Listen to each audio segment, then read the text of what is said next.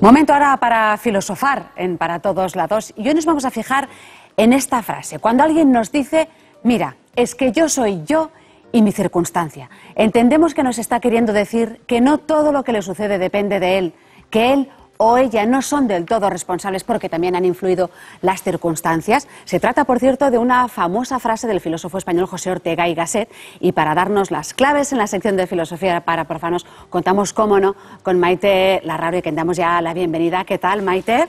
Hola Marta, siempre Menuda un frasecita. placer estar aquí. Gracias. Lo que decíamos, ¿qué quería decir con esta frase de José Ortega y Gasset? Pues mira, desde que estoy haciendo este programa me doy cuenta de la cantidad de frases de la filosofía que han pasado al lenguaje común y que eh, tergiversan totalmente el sentido filosófico. Es, es sorprendente, ¿no? Porque mm, tú lo has dicho bien, ¿no?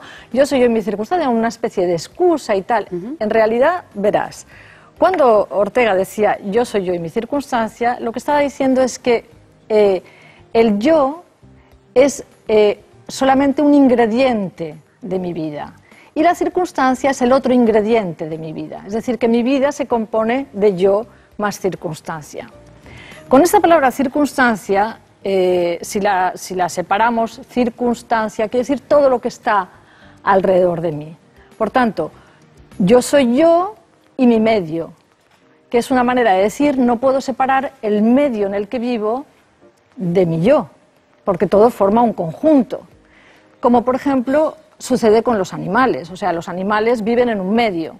El medio físico no, no podría ser explicado sino mm, con respecto a los animales y los animales tendrían que ser explicados con respecto al medio físico. Lo que quiere decir que si cambia uno, cambia el otro, en esa, en esa medida. Es un todo. Es un todo, exacto. Lo único que pasa es que eh, en, la, interpretación que se hace como si fuera una excusa es donde se falla, porque eh, lo que nos diferencia a nosotros, seres humanos, de los seres vivos en general, es que estamos dotados de palabra, de razón y que tendemos a explicar las cosas. Por tanto, la circunstancia que a mí me toca vivir, yo me pregunto cómo, por qué. Yo intento buscarle un significado a mi vida. Y por tanto, al hacerlo, de alguna manera estoy introduciendo en el silencio del medio que me rodea una palabra que dé significado a ese, a ese medio, ¿no? Esta, esta, es la cosa. Que no es, que no es poco. Que no es poco. Que no es poco, porque eh, entonces, claro, estamos condenados a vivir en nuestras circunstancias. Eh, sí, pero unas circunstancias que las vamos a sacar del silencio. ¿no? Eh, a, a, Ortega y Gasset le gustaba muchísimo una anécdota, que creo que lo hace muy comprensible, una anécdota de Heráclito.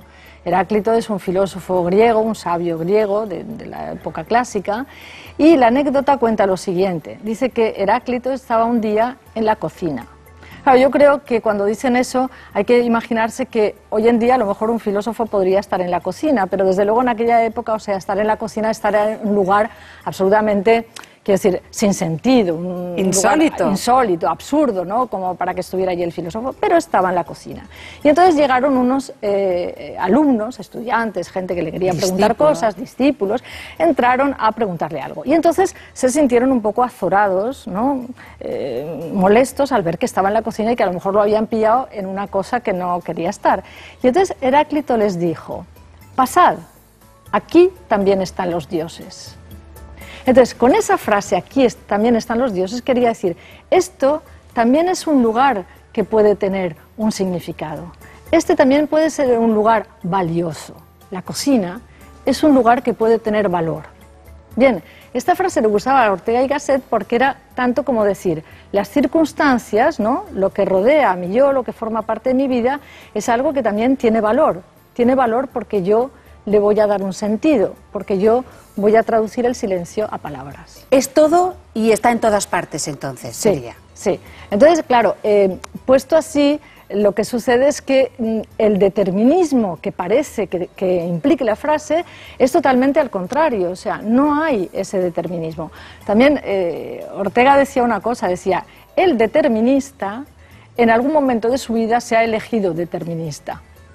que, que, tiene razón, ¿no? O sea, no, porque si no todos estaríamos determinados a ser deterministas y no es el caso, ¿no? Entonces, en realidad, o sea, no, no hay determinismo en el yo soy yo y mi circunstancia, porque esta además es una frase con coletilla. ¿eh? De estas que apuntas. Apunto. La coletilla es yo soy yo y mi circunstancia, si no la salvo a ella, no me salvo yo. Y ese si no la salvo a ella, no me salvo yo, quiere decir, si yo no saco la circunstancia del silencio y de la carencia de sentido, si yo no salvo, por tanto, a través de las palabras a la circunstancia, tampoco me salvo yo. Entonces, pongamos el ejemplo, ¿no? Tú dices, la vida de todos está limitada. Yo, por ejemplo, yo qué sé, yo nací en 1950 en la España franquista y esos son límites para mi vida, ¿no? Y además soy mujer, o sea, estas, estas cosas son limitaciones. Ahora bien, yo puedo, al hecho de ser mujer, al hecho de haber nacido bajo determinadas circunstancias, darle un, sentido, darle un significado. En el momento en que yo le doy significado y lo incorporo a mi vida como, como parte, digamos, de un medio entendido por mí, yo salvo la circunstancia y me salvo a mí. Es decir, ya no vivo, vivo la vida desde una inconsciencia, desde un silencio, sino que la vivo en la conciencia de que yo puedo explicar por qué las cosas son así, cómo han sido para mí y eso puede tener, digamos, una explicación y por tanto una manera de salvación. La palabra es bonita, salvar. ¿No? Todo lo contrario de lo que en principio decía este principio de frase, un empoderamiento y un, hacerse responsable de la vida de, uno mismo. Claro que sí. Eso es. ¿Terminamos con la frase? Venga. Maite, vale. yo soy yo y mi circunstancia, si no la salvo a ella, no me salvo yo. Muy bien. Pues muchísimas gracias, gracias por esta lección de filosofía para profanos. Gracias.